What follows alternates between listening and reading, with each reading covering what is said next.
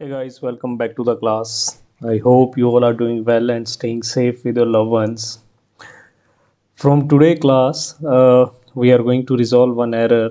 Uh, error is there right on the screen. No stock posting uh, possible for the material. This error is coming while I am doing GR without PO. And if I want to see the long text for this error, so it says the material type which I have it is not managed at the quantity or at the value basis okay? To resolve this error uh, I'll be using the transaction code uh, OMS2 maybe I'll open another window quickly and I'll type OMS2 okay? So in OMS2 uh, I need to find out my material type.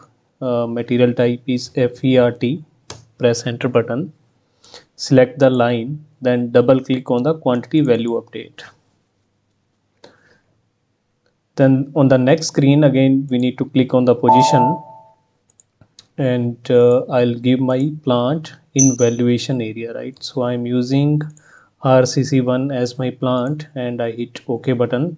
I can see there is no quantity and value uh, you know the option selected for this particular plant for the material type FERT so I'll update it manually right away and I'll try to save my record. Then we need to provide the change request number. Perfect. Go back. Then go back to your SAP screen. Tick OK and try to click on the check button once again. Now I can see the error message has been changed. That means the material type error has been resolved and uh, now another error. This error we can resolve into the next class. Till that till the time please do the practice. In case if you have any question or any kind of query uh, please feel free to use chat section or you can also use my email address as well. Uh, thank you so much. Uh, take care. Bye bye